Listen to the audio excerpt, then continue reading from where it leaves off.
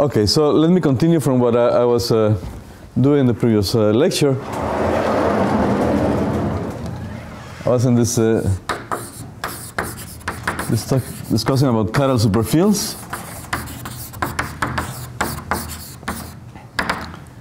And a chiral superfield, as I say, was a, a, a superfield such that it is the d bar acting on phi equal to zero. And uh, working in the components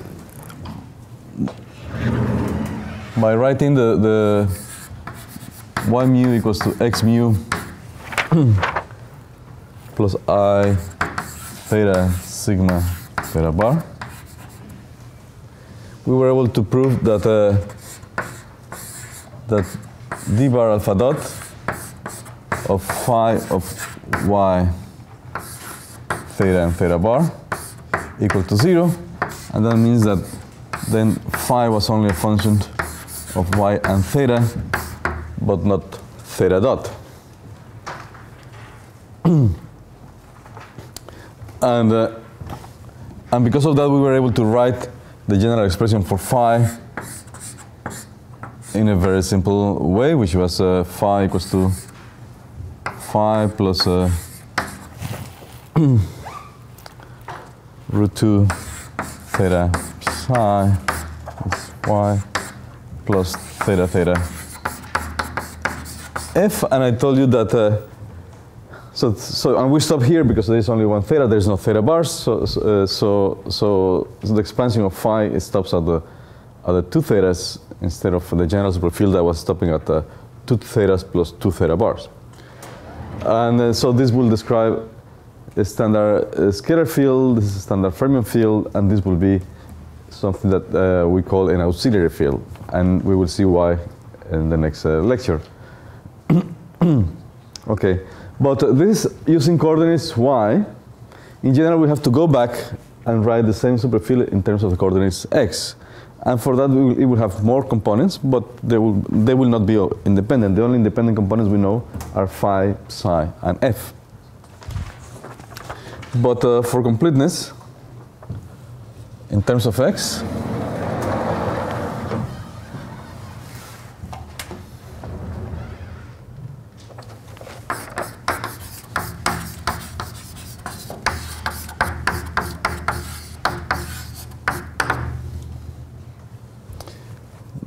expression is a bit longer. And so that will be phi of x plus psi of x plus theta theta f of x so that's so far is the same. And then but the rest we have to we can write, you have to write x as y minus i theta theta bar and i theta sigma mu theta bar and then expand. And so that's why we, we will get extra terms with the um, more powers of thetas. And uh, so that will be plus i theta sigma mu theta bar d mu phi minus i over root 2 theta theta mu psi mu theta bar. Minus 1 quarter theta theta. Theta bar theta bar. Box phi. okay, so you can see these are the same independent components phi, psi, and f, and all the extra terms that we have, they are just different functions of phi, psi, and actually f doesn't appear any longer. okay, so now we have this general chiral superfield, and uh, we can apply under to it a standard supersymmetry transformation. So we have we can apply a SUSY transformation.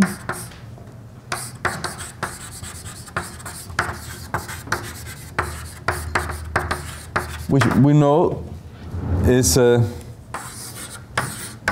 delta phi equals i epsilon q plus epsilon bar q bar.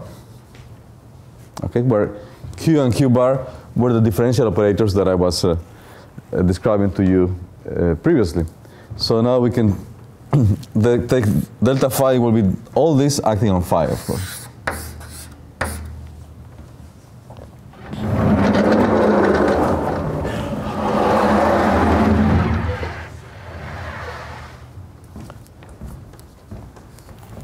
And if you do that,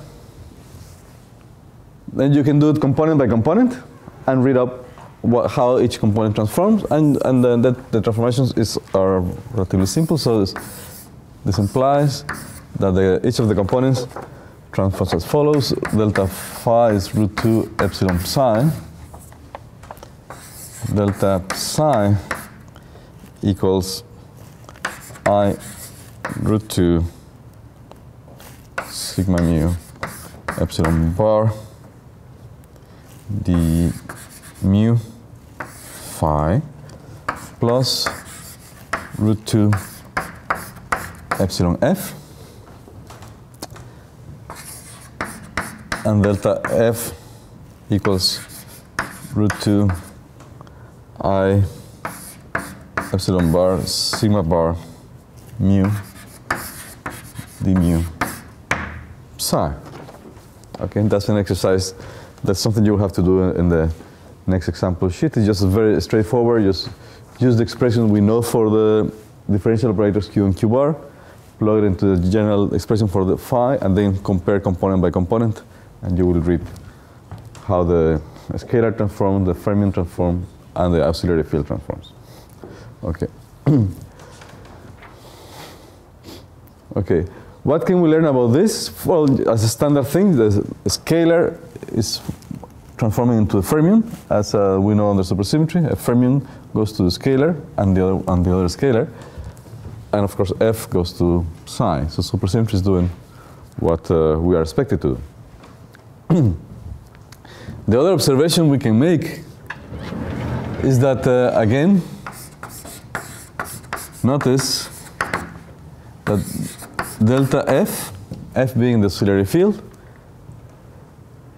is equal to all that, but all that, what it is, is just a total derivative.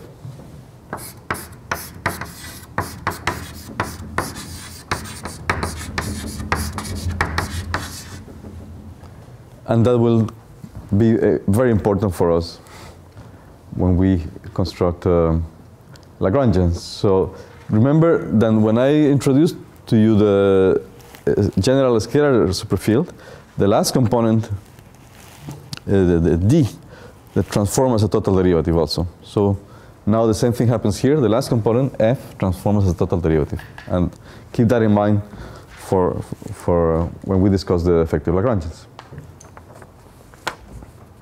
Okay. So this is a first remark. Second, As it happened with the with the scalar superfields, and uh, uh, uh, it's relatively easy to see, is that if you have a product of chiral superfields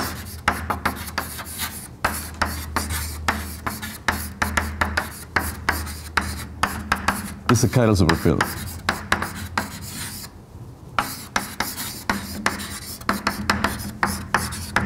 Okay, this is uh, straightforward. You know the product of two superfields is a superfield, but the chiral, the chiral property means that is the d bar acting on that is zero.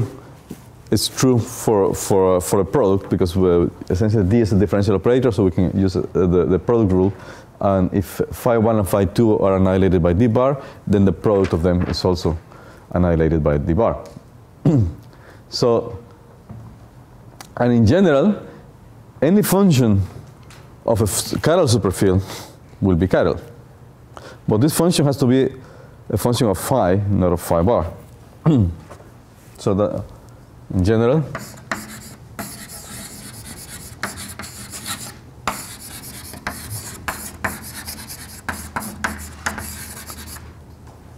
which we will call a holomorphic using the same notation as in complex variables f of phi is, is, is also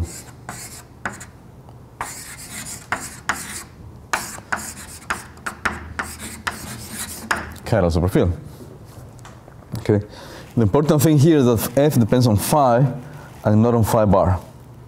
Okay, that's that's why, it's, that's why that is why the term holomorphic is in. That's that's what you remember in, in complex variables. A function of z but not of z bar was called uh, holomorphic. And so it is the same thing here. So as long as it depends only on phi but not on phi bar or phi dagger, then this any function of a chiral superfield remains chiral. And again, this is very important for constructing Lagrangians.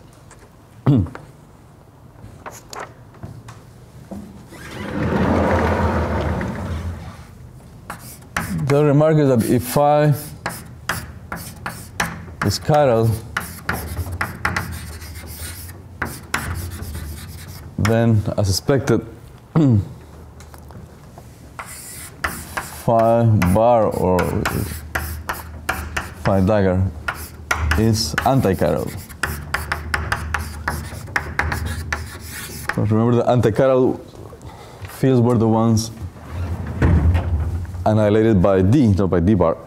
so if you have a chiral field, we, we know that we can build an anti-chiral field by just taking the complex conjugation. So there's nothing, nothing, nothing especially new about anti-chiral fields.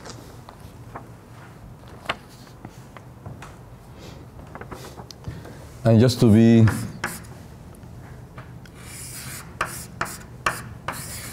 products like this, or, or combinations like that, this is superfield, this is chiral, this is anti-chiral, this is chiral, this is anti-chiral. They are superfields, but they are not, they don't have any particular chirality.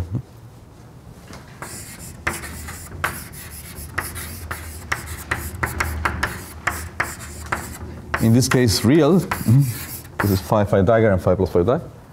But not chiral. As expected because it's a combination of chiral and anti-chiral. okay. So so those are the, the properties of uh, chiral superfields and uh, before trying to construct Lagrangians for them, I will move on now to describe vector superfields. And once I have the whole picture with the chiral and vector superfields, then we can start building Lagrangians that couple both kinds, both kinds of uh, superfields. Okay. Any questions so far? Good. So let me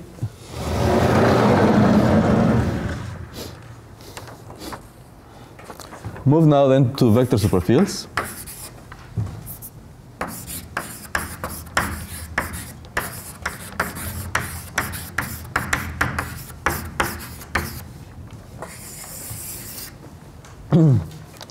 As I told you, the definition of a vector superfield is just start with the general, what we call the scalar superfield, the S, but impose a V of x theta and theta bar equals to V dagger. So that means that it's a real superfield. okay. So having the, uh, this condition, then we can take the general uh, scalar superfield that I wrote for you a couple of lectures ago, and then just impose that the some of the components will be identified with each other, some of them will be real because of this condition, so that will reduce the number of components of the superfield. so unfortunately, well, I have to write a long expression for the general uh, vector superfield, so it will take me a couple of minutes, and it's a nice exercise for your hand. So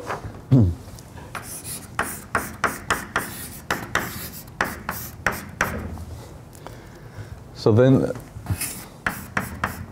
I call the scalar component, I call it C, just to make it special uh, for the scalar component of a vector superfield.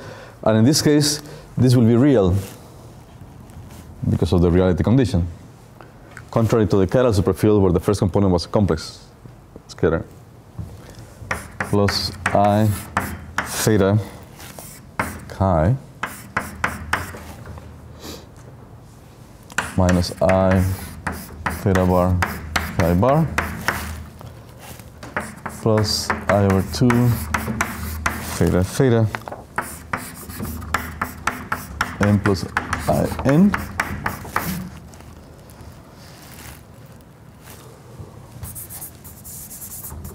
minus I over 2 theta bar theta bar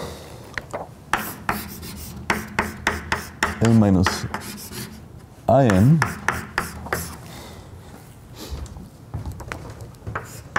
plus theta sigma mu. Theta bar v mu. Plus i theta theta theta bar. Lambda bar of x plus i over 2 sigma bar mu d mu chi of x minus i theta bar theta bar theta lambda of x plus i over 2 sigma mu d mu. Chi bar of x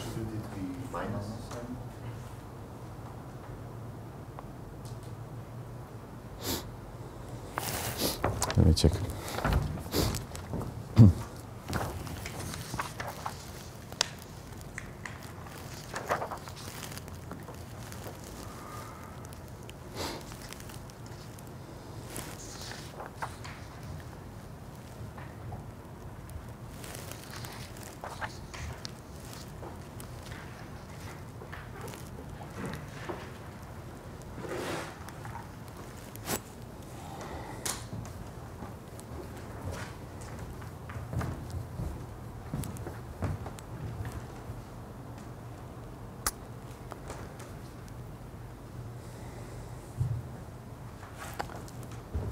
I will confirm you later about this sign. Uh, I, I will think about it.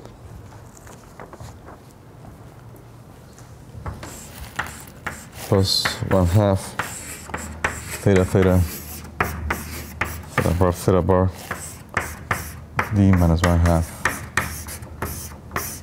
box c. so the important thing about uh, this superfield is that it has components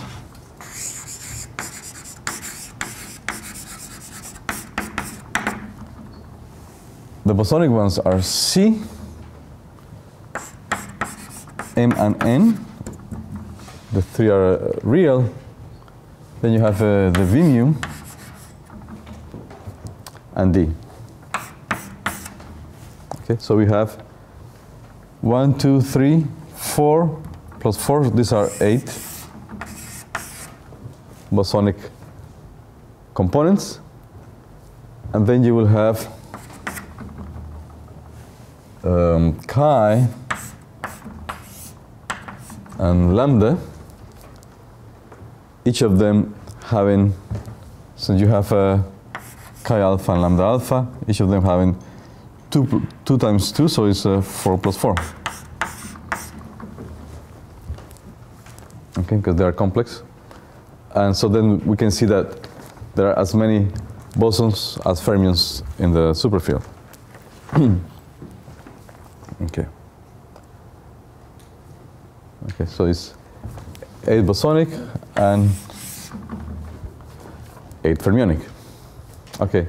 And the field is called a vector superfield because it has the V mu as one of the components. So it, it is the superfield that includes a vector field on, on it. And, uh, and this is uh, the relevant part.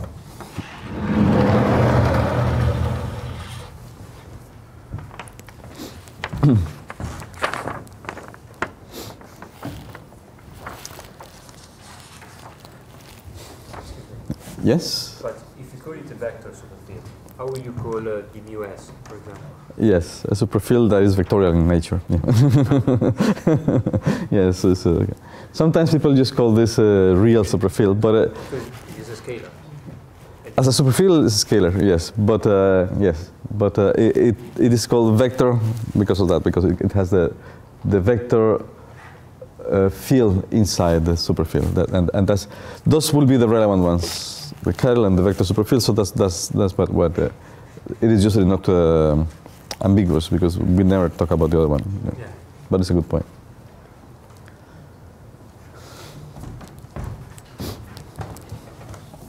Okay, you can no, we can notice the following. We can notice that if lambda, capital lambda, is a chiral superfield,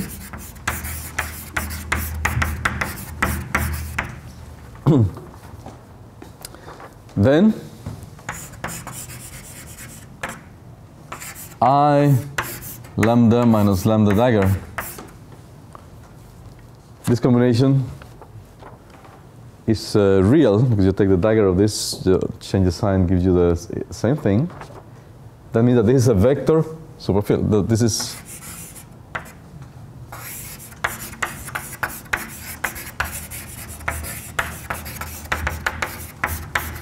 Okay, so a, simple way of building a vector superfield is taking a lambda superfield and take a, a, a real combination of it. It's either this or just lambda plus lambda dagger you would have liked. But usually it's convenient to, to write it in this way. So this is a vector superfield, and then we can see the components and co- compare, we know the general components for uh, lambda, and now we know the general components of V, and we can compare how the, they are uh, related. And, uh, and so this uh, I lambda minus lambda dagger has components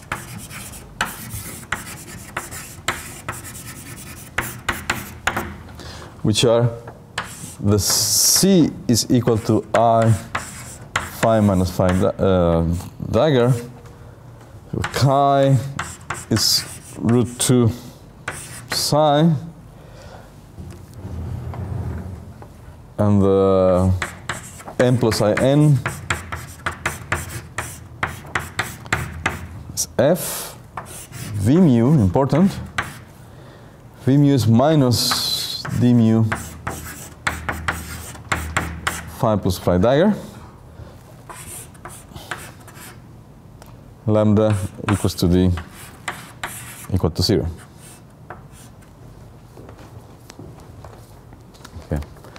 By the way, if uh, probably you may have noticed that uh, there is this extra term here on D. I, I added this box C that was not present in the general superfield. We are free to add something very scalar. It's just like a redefinition of D is of D, and it is convenient to add it because then that will tell us that uh, that uh, remember that the if I wrote it here.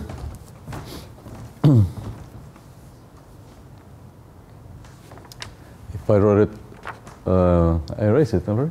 Oh yes, I have it there. Look at that.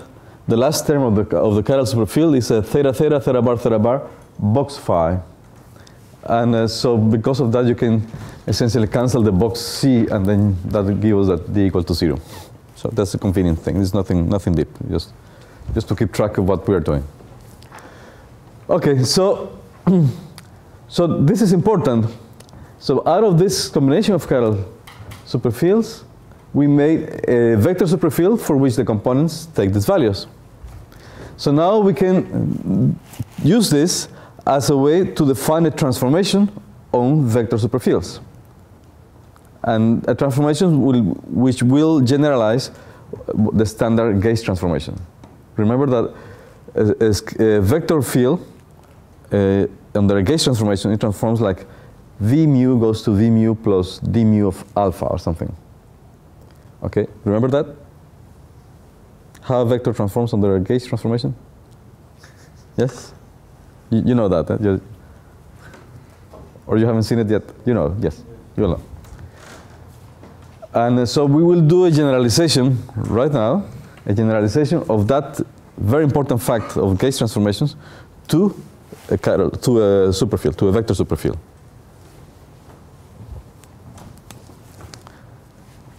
So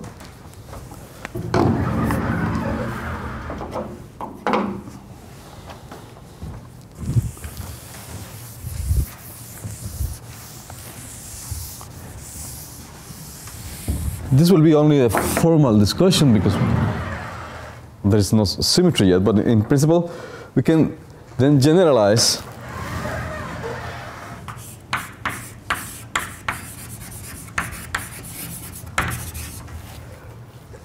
gauge transformation.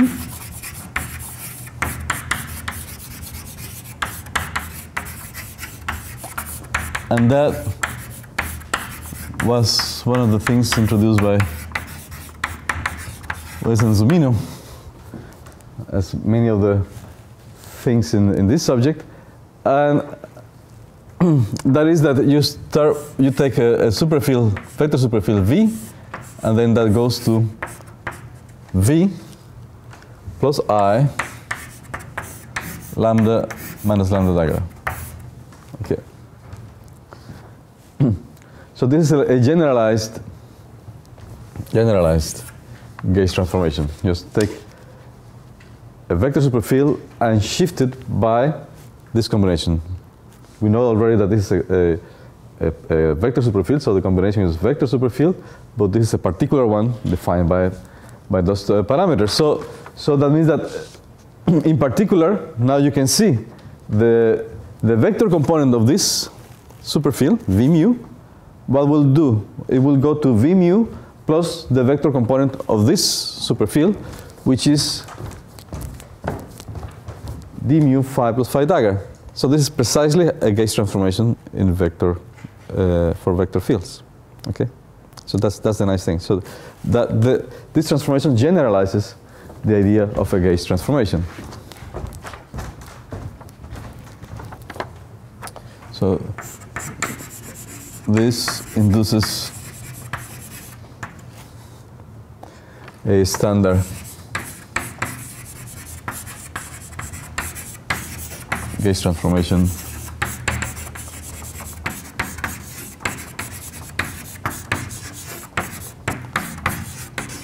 for the vector component.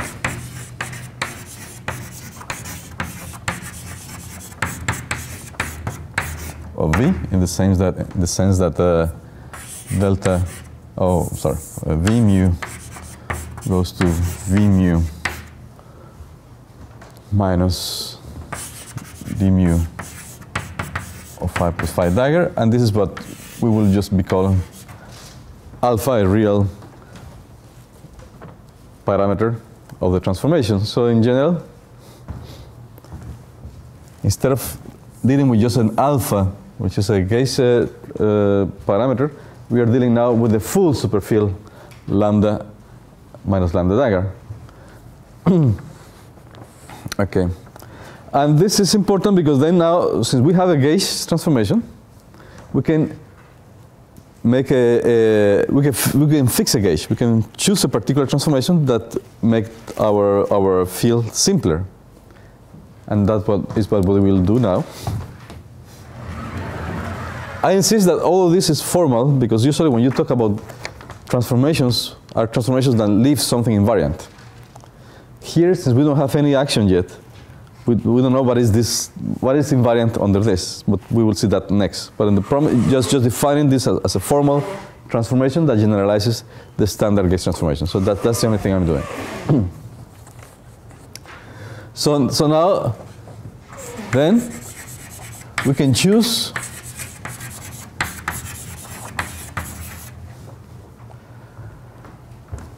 the components phi, psi, and f within lambda, because lambda is a, is a transformation parameter,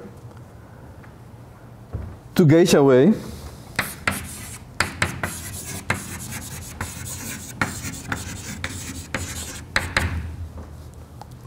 some of the components of, of, of V.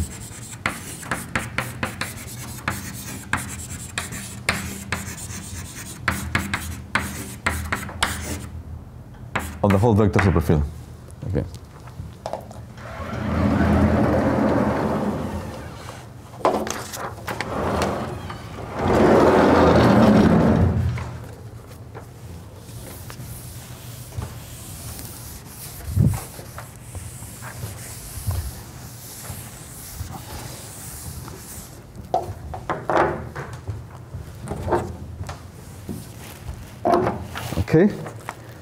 And this is what is usually called the Wess-Zumino gauge.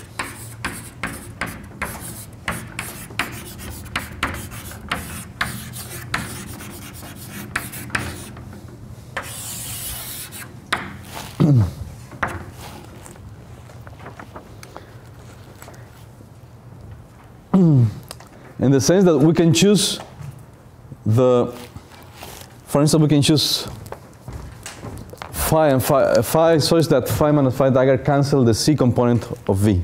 So there is, then there will not be C component of V. So that's a choice already. We can choose the same thing with psi uh, to cancel uh, chi and so on. So then in the Wess-Zumino gauge, we can write now the vector superfield that I have written for you over there. It takes the following form it will be theta sigma mu theta bar v mu of x, of course, plus i theta theta theta bar lambda bar of x minus i theta bar theta bar theta lambda of x plus 1 half theta theta theta bar theta bar d of x. Okay. Let me, let me just try to tell you what I, I did. I started with all a, a standard uh, vector superfield with all these components, C, M, N, V mu, and D. Now I'm shifting that by this lambda minus lambda dagger that has these components. So then I choose this one to cancel the C component of V. So then C will be zero. I choose this one to cancel the chi component of, of, of V, and so the chi is zero. And then the same thing for, for F, for M and N. And uh, of course, I cannot cancel the D component because uh, this one is, is I cannot cancel lambda nor d because the, the lambda and d of this uh, vector superfield are zero, so you cannot adjust them to cancel anything. So that means that this, this tells you clearly what the, the real uh, degrees of freedom of this uh, vector superfield are, and you can see that now the prominence of, of, of the vector component is, now the first component of the vector superfield. And in this one is when you will have all the gauge particles.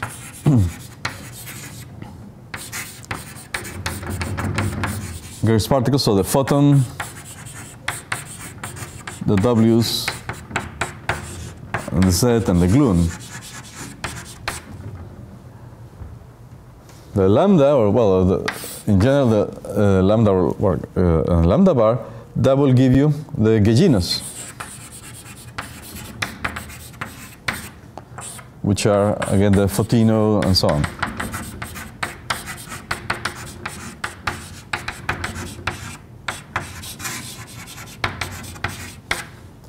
And D, again, as in the case of the vector of the chiral superfield, you have an extra component, and this is a, is a, is a auxiliary.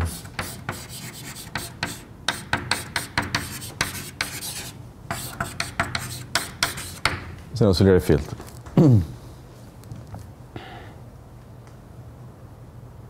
okay.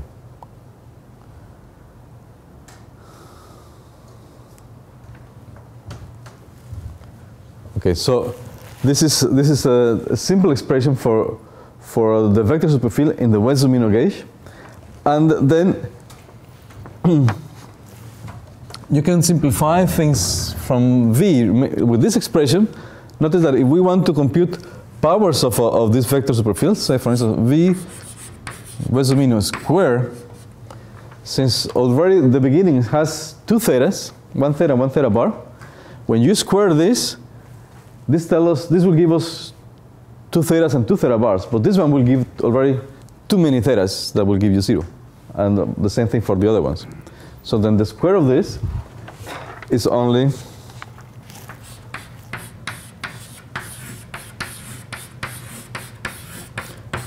one have theta theta bar v mu v mu and uh, as I say, so it's only the square of this, and then you use properties of, uh, of, of, of the sigmas to reduce this two products to this uh, theta theta bars theta bars, and, and nothing else. So you don't have any other term in the square. So this is very simple, and of course, v to the power n greater than two in the Wess-Zumino gauge is zero because now you start taking uh, multiplying this times v, you have saturated the maximum number of thetas, so you cannot go beyond that. Okay.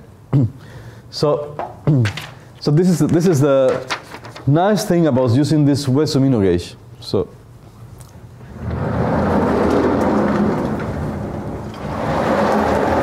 However, we have to have a, a warning, and the warning is that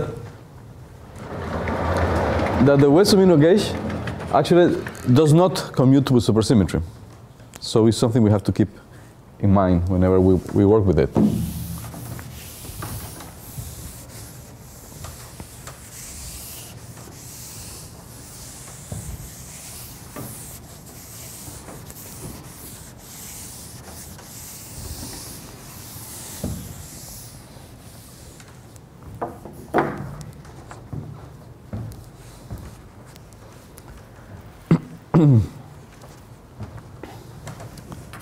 So remark. Wess-Zumino gauge is not supersymmetric.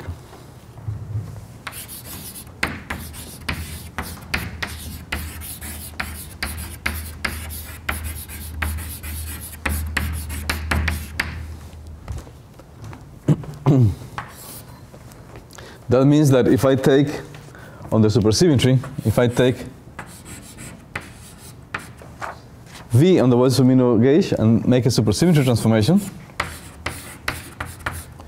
that will give you another V, but not on the Wess-Zumino gauge. Okay, that's that's something. However,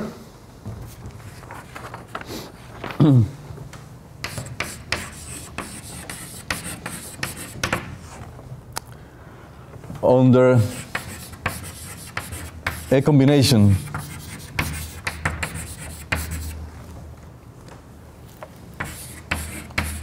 Of SUSY and generalized. Gauge transformation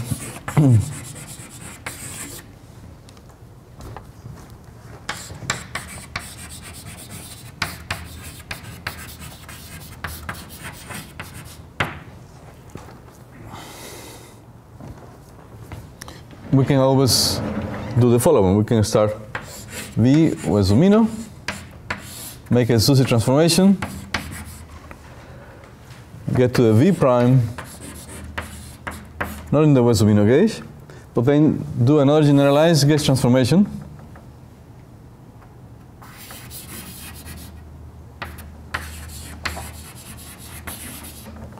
And then that will give you another V on the Wess-Zumino gauge. So we can always use the two properties to bring you back to the Wess-Zumino gauge. So that, that is something that is useful. So and it still keeps the Wess-Zumino gauge as, as, a, as, a, as an important tool when we will build Lagrangians for vector superfields. now, I told you that, that uh, uh, this gauge transformation generalizes this, the standard gauge transformation. Uh, but uh, the gauge transformation, the standard gauge transformation, we know how, how a vector field transforms under a gauge transformation, and we also know how a matter field, like a, a scalar field or, or fermion, transforms under a, a gauge transformation. Uh, Just by say, if the gauge transformation is a U1, the corresponding field transforms as a phase. So let's try to see how this will be in the case of supersymmetry.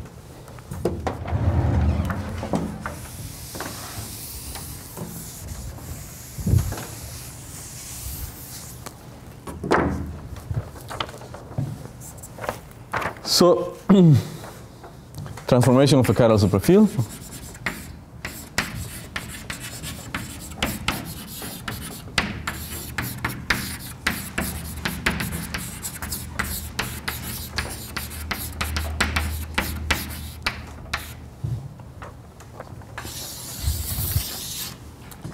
Okay, so we know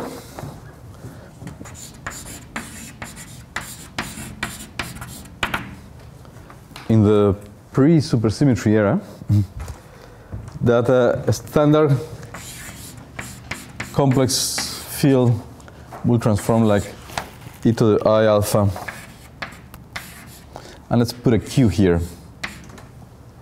just to see that it can can have a charge times phi.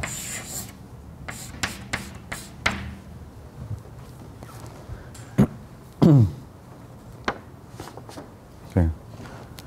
Where this is a U1 transformation where alpha is parameter of the U1 and Q charge. Typically we can take charge equal to 1, but it could be minus 1 or something else, so let's, let's keep it general. And,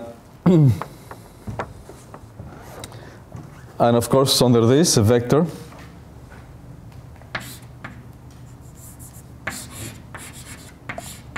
will go to v mu plus d mu alpha.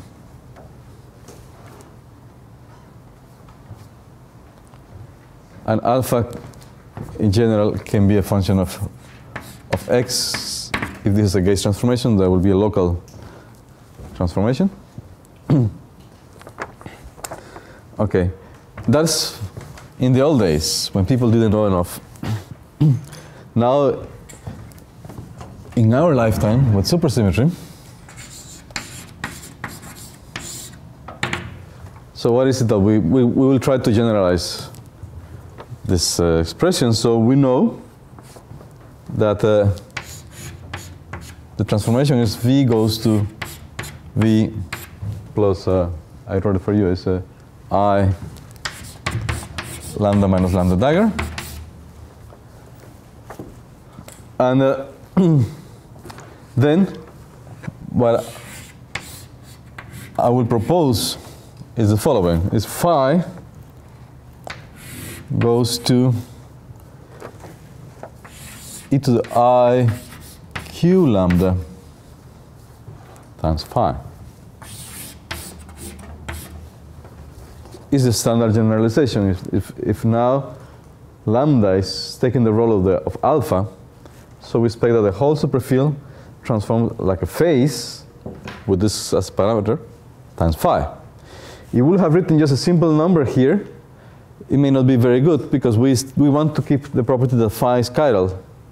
If this is just a e to the iq alpha of x, then this object will not be a chiral superfield.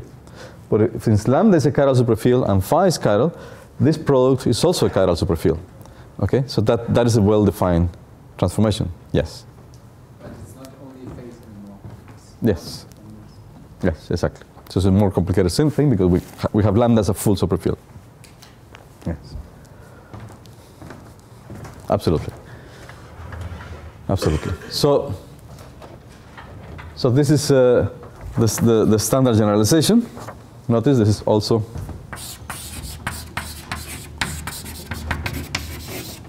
chiral. Okay.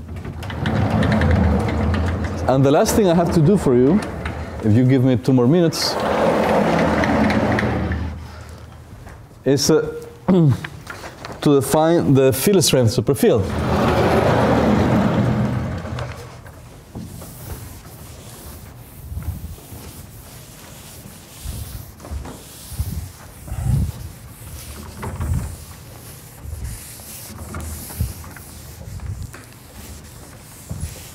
The field strength superfield that will generalize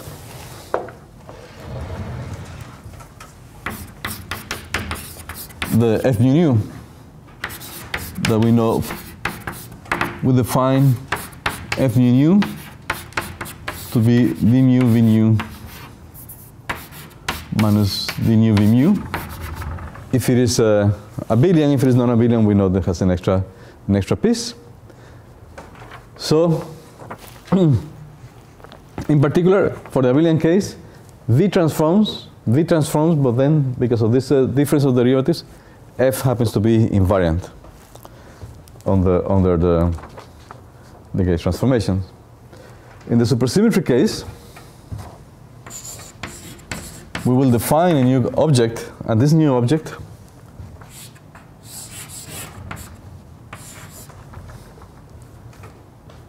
I call uh, W, W, but with the index alpha. And W with the index alpha, we will define it as, uh, well, for conventions, there's a minus one quarter here. There's a d bar square, and then there's a d alpha of v. So where again, the d's are the covariant derivatives that I defined in the previous lecture. So this will be the, the, the new object that has some properties. First of all,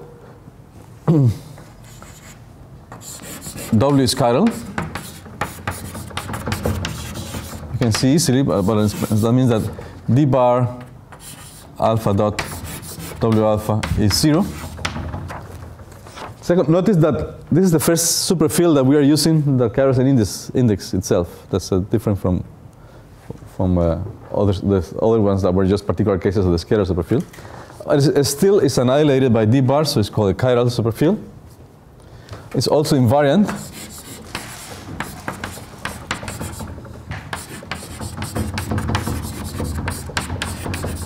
under a generalized transformation.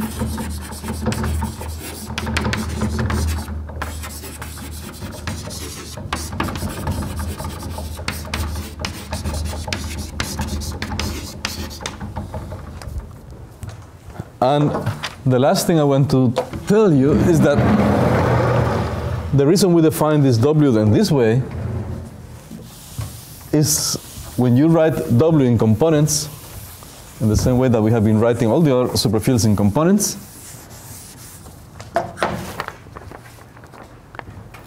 in components,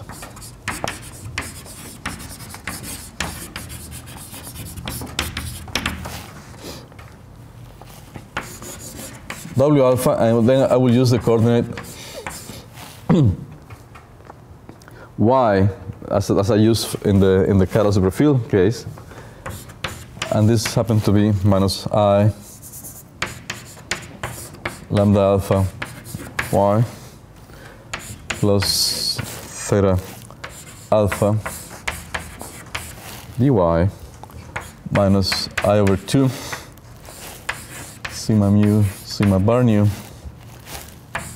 theta alpha f mu nu plus theta theta sigma mu.